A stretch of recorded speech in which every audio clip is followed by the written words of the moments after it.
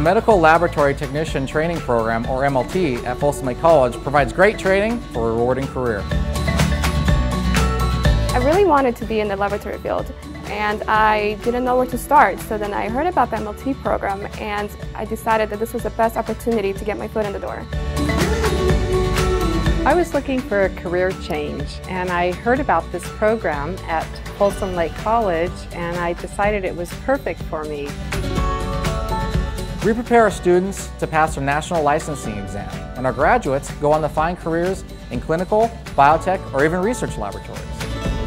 The program is 18 months long and we covered everything from microbiology to hematology, immunology. Our program covers multiple areas of laboratory medicine, including clinical chemistry, hematology, microbiology, and immunohematology.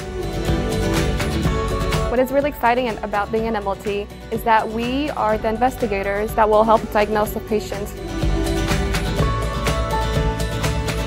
Once our students complete their didactic training, they continue with a rotation at one of our local clinical sites, where they learn side by side with experts in the field. What I really liked about this program was meeting new people, bonding with each other. We spent a lot of times with our class studying together, learning new things. We started off with not knowing anybody and ending up with lifelong friends. What I really liked about the MLT program was all the hands-on experience we got during the lab. All the professors are so great and they really want to help us and it's been a really great program.